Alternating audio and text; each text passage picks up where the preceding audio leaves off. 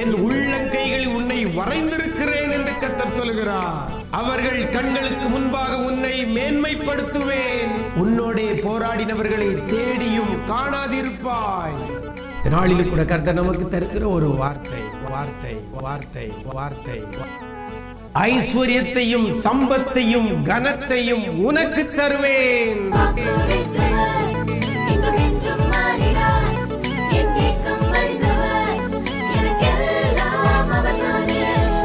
கிறிஸ்துவில் பிரியமானவர்களே ஆண்டவராய் இயேசு கிறிஸ்துவின் ஈடு இணையற்ற நாமத்தில் உங்களுக்கு அன்பின் வாழ்த்துக்கள். நிஜம் தொலைக்காட்சியின் இந்த விசேஷித்த வார்த்தை நிகழ்ச்சி மூலமாக உங்களை சந்திப்பதிலே மிக்க மகிழ்ச்சி அடைகிறேன். இந்த நாளிலும் கூட கத்த நமக்கு தருகிற ஒரு வார்த்தை ரெண்டு நாளாகமத்தின் புஸ்தகம் முதலாம் அதிகாரம் பனிரெண்டாம் வசனத்தில் கடைசியில் இவ்வாறாக சொல்லப்படுகிறது. ஐஸ்வர்யத்தையும் சம்பத்தையும் கனத்தையும் உனக்கு தருவேன் என்று கத்தர் சொல்கிறார் உங்களுக்கு தருவேன் அப்படின்னு இந்த வார்த்தை இன்றைக்கு உங்களுக்கு நேராக கடந்து வருகிறது.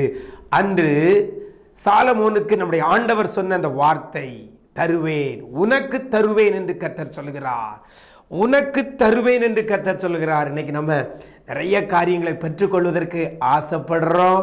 இது கிடைச்சா நல்லா இருக்குமேன்னு சொல்லி எதிர்பார்த்துக்கிட்டு இருக்கிறேன். அப்படிப்பட்ட தேவ பிள்ளைகளே எதிர்பார்ப்போடு கூட இருக்கிறீங்களா? இன்னைக்கு கர்த்தர் உங்களை பார்த்து சொல்கிறார் தருவேன். உனக்கு தருவேன். எதை தருவாராம்? அந்த வசனத்தில் சொல்லப்பட்டிருக்கிறது ஐஸ்வர்யத்தையும் சம்பத்தையும் கனத்தையும் மூன்று காரியம் சொல்லப்படுகிறது. ஒன்று ஐஸ்வர்யத்தை உனக்கு தருவேன் என்று கத்தர் சொல்கிறார். சம்பத்தை கத்தர் உனக்கு தருவேன் என்று சொல்கிறார். கனத்தை உனக்கு தருவேன் என்று கத்தர் சொல்லுகிறார் இன்னைக்கு பொருளாதாரத்தில் கஷ்டப்பட்டு கொண்டிருக்கிறீங்களா? எனக்கு சொத்து இல்லை வீடு வாசல் இல்லை நிலபுலம் இல்லை அப்படி சொல்லி கொண்டிருக்கிறீங்களா? உங்களுக்கு ஐஸ்வர்யத்தையும் சம்பத்தையும் உங்களுக்கு தருவேன் என்று கத்தர் சொல்லுகிறார். இன்னொரு காரியம் எனக்கு மதிப்பு இல்லை. யாரும் என்ன மதிக்க மாட்டேங்காங்க எல்லாரும் என்ன ஏளனமாக பார்க்குறாங்க.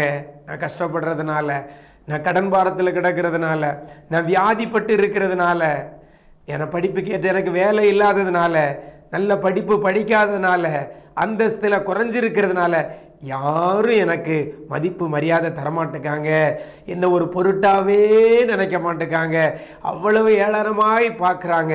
எல்லாராலையும் நான் வெறுக்கப்படுகிறேன் என்று சொல்கிறீங்களா உங்களை பார்த்து என் ஆண்டவர் சொல்கிறார் கனத்தை உனக்கு தருவேன் என்று கத்த சொல்கிறார். கனம் மதிப்பு மரியாதை உங்களுக்கு தருவேன் என்று கத்த சொல்கிறார். பாருங்க நம்முடைய ஆண்டவர் தருவேன் என்று சொன்னால் அதை நிச்சயமாக தருவார்.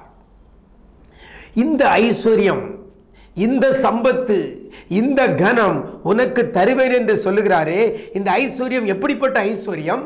இந்த சம்பத்து எப்படிப்பட்ட சம்பத்து? இந்த கனம் எப்படிப்பட்ட கனம் என்று சொல்லி அந்த வசனத்தில் அழகாக ஆண்டவர் சொல்லுகிறதை பார்க்கிறோம். உனக்கு முன் இருந்த ராஜாக்களுக்காகிலும் உனக்கு பின் இருக்கும் ராஜாக்களுக்காகிலும் இல்லாத ஐஸ்வர்யம். சாலமோனை பார்த்து கத்த சொல்லும்போது உனக்கு முன்னால் இருந்த ராஜாவை பார்க்கிலும் உனக்கு பின்னால் இனி வர போகிற ராஜாவை பார்க்கிலும் அவங்க முன்னால் இருந்த ராஜாக்களுக்கும் பின்னால் இருந்த ராஜாக்களுக்கும் இல்லாத அளவுக்கு ஐஸ்வர்யத்தையும் சம்பத்தையும் கனத்தையும் தருவேன். அப்படின்னா இருக்கிறதுலே டாப் மோஸ்ட் யார் தான் சாலமோன் தான். இதுக்கு முன்னால் யாருக்கும் இந்த ஐஸ்வர்யம் இருந்ததில்லை. இனி யாருக்கு இருக்க போகிறதில்ல இதுக்கு முன்னால் இருந்த சம்பத்து யாருக்கு இருக்க போகிறதில்ல இதுக்கு பின்னால் இருக்கிற யாருக்கும் இந்த சம்பத்து வர கிடையாது. இதுக்கு முன்னால் இருந்தவங்களுக்கு இந்த கனம் கிடையாது. இதுக்கு பின்னால் இருக்கிறவங்களுக்கு இந்த கனம் கிடையாது. அப்படி யாருக்குமே இல்லாத ஐஸ்வர்யத்தையும் கனத்தையும் சம்பத்தையும் உனக்கு தருவேன் என்று கர்த்தர் சொல்லுகிறார். எவ்வளோ பெரிய பாக்கியம் பாருங்க. எனக்கு அருமையான தேவஜனமே நீங்களும் இந்த காரியத்தை கத்தர் உங்களுக்கு தரணும்னா யாருக்குமே இல்லாத ஐஸ்வர்யம் யாருக்குமே இல்லாத சம்பத்து யாருக்குமே இல்லாத கனம் உங்களுக்கு கத்த தர வேண்டுமானால் சாலமோன் செய்தது போல நீங்களும் நானும் செய்தால் கத்தர் அதை செய்வார். சாலமோன் என்ன செய்தான்? இந்த அதிகாரத்தில் நம்ம ஆறாம் வசனத்தில் பார்க்கும் பொழுது ஆயிரம் சர்வாங்க தகன பலியை செலுத்தினான். கத்தருக்கு பலி செலுத்தினான். ஒன்று. ரெண்டாவது ஒரு காரியம் தா- சாலமோன் செய்தது என்னன்னு சொல்லி பார்த்தீங்கன்னா அவன் விரும்புகிறத ரா- அவன் விரும்புகிறத கேளுன்னு கர்த்தர் சொல்லும் பொழுது அவன் சொத்து சுகத்தை கேட்கல ஐஸ்வர்யத்தை கேட்கல கனத்தை கேட்கல சம்பத்தை கேட்கல. அவன் கேட்டது கர்த்தர் இடத்துல ஞானத்தை கேட்டான். இன்னைக்கு நீங்களும் நானும் கர்த்தருக்கு பலி செலுத்துகிறோமா? உதடுகளின் கனிகளாகி ஸ்தோத்திர பலிகளை செலுத்துகிறோமா? என்னொன்று கர்த்தரிடத்தில் ஐஸ்வர்யத்தையும் கனத்தையும் சம்பத்தையும் கேட்டுக்கிட்டு இருக்கிறோமா? உலக பிரகாரமான காரியத்தை கேட்டுக்கொண்டிருக்கிறோமா? பொண்ணு பொருளை கேட்டுக்கிட்டு இருக்கிறோமா? ஏன் நான் நல்லா இருக்கணும் என் பிள்ளை நல்லா இருக்கணும் என் குடும்பம் நல்லா இருக்கணும்னு சொல்லி இதையே கேட்டுக்கொண்டிருக்கிறோமா?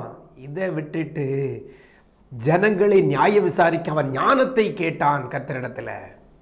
இன்னைக்கு நீங்களும் நானும் சாலமோனை போல கர்த்தருக்கு பலி செலுத்துகிற பிள்ளைகளாக இருக்க வேண்டும். ரெண்டாவது கர்த்தரிடத்தில் அவருடைய ராஜ்யத்துக்குரியதை நம்ம கேட்க வேண்டும். வேதவசனம் தெளிவாக சொல்கிறது முதலாவது தேவனுடைய ராஜ்யத்தை அவருடைய நீதியையும் தேடினா இந்த ஐஸ்வர்யம் சம்பத்து கனெல்லாம் தன்னால வரும். அதைத்தான் சாலமோன் கேட்டான். நீங்களும் கேளுங்க.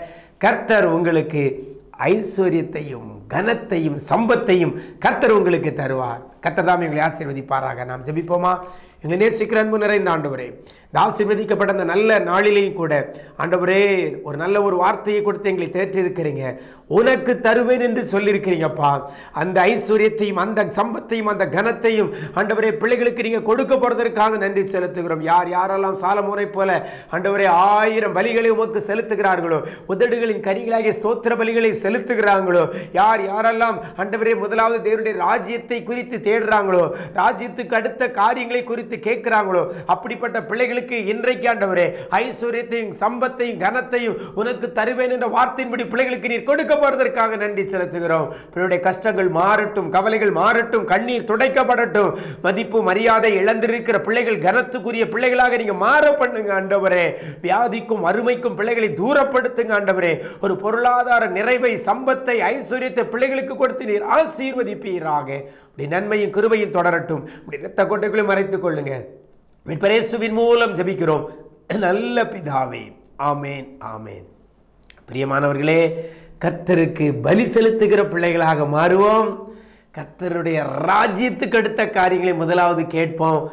ஐஸ்வர்யத்தையும் சம்பத்தையும் கனத்தையும் உங்களுக்கு தருவார். God bless you